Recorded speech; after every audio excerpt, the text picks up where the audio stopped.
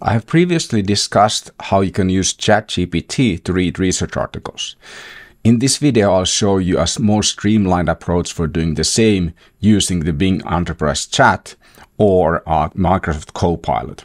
This is a thing that lives within the Microsoft Edge browser and it differs from ChatGPT that it is protected. That means that if you're logged in the, with your university user account, all the information that you write there will stay within the Microsoft Azure cloud, and you don't need to worry about sending your input to foreign servers or OpenAI. So this is more data secure way of using GPT-4, and it's also for free.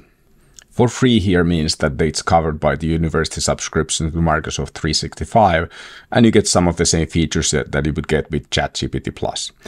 So how you use the Copilot for reading article differs a bit from how you would use ChatGPT. When you use ChatGPT, you would write something here, copy paste the content of the article, but we no longer need to do that.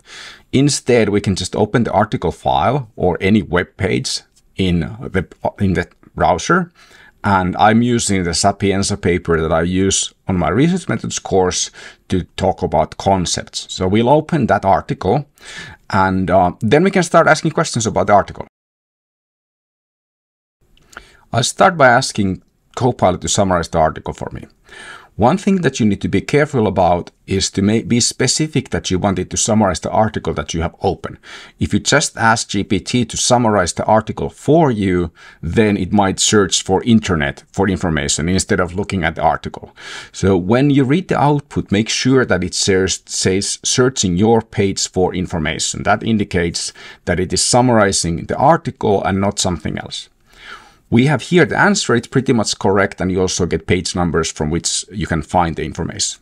Then I ask about some limitations, and uh, part of these limitations are something that the article itself explains. For example, it does not account for all factors or outcomes. But some of this is genuinely new analysis, like it doesn't really have any empirical data. We can also ask follow-up questions, for example, imprinting, and uh, now GPT or, or, Copilot is searching for imprinting into article and also from the web, and then it will synthesize the information for you.